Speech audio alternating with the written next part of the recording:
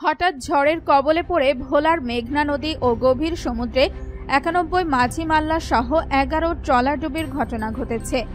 এতে আটষট্টি জেলে জীবিত উদ্ধার হলেও এখনও নিখোঁজ রয়েছে তেইশ জেলে।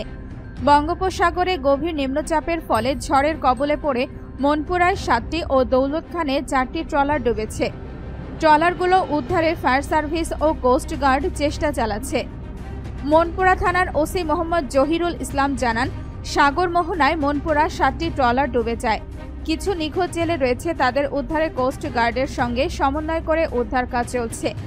ভোলা দক্ষিণ জোনের কোস্ট গার্ডের মিডিয়া কর্মকর্তা লেফটেন্যান্ট শফিউল কিঞ্জল জানান, সাগরের মাছ শিকার করতে গিয়ে ডুবে যাওয়া ট্রলারগুলোর তথ্য সংগ্রহ করা হচ্ছে এবং কোস্টগার্ড দক্ষিণ জোনের কয়েকটি টিম নদী ও সাগরে ডুবে যাওয়া ট্রলার ও নিখোঁজ জেলেদের উদ্ধার অভিযান পরিচালনা করে যাচ্ছে। আবহাওয়া অধিদপ্তর সূত্রে জানা গেছে, সাগর ও নদী উত্তাল থাকায় সমুদ্র বন্দরে তিন নম্বর সতর্ক সংকেত দেওয়া হয়েছে। সাগরের লঘুচাপ সৃষ্টি হওয়ার কারণে বাতাসের গতি বেড়ে গিয়েছে এবং থেমে থেমে বৃষ্টি হচ্ছে। ফলে ভোলার নিম্ন অঞ্চল প্লাবিত হয়ে কয়েক হাজার মানুষ পানিবন্দী হয়ে পড়েছে। হে আল্লাহ, নিখোঁজ জেলেদের জীবিত অবস্থায় তাদের পরিবারের কাছে ফিরিয়ে দাও।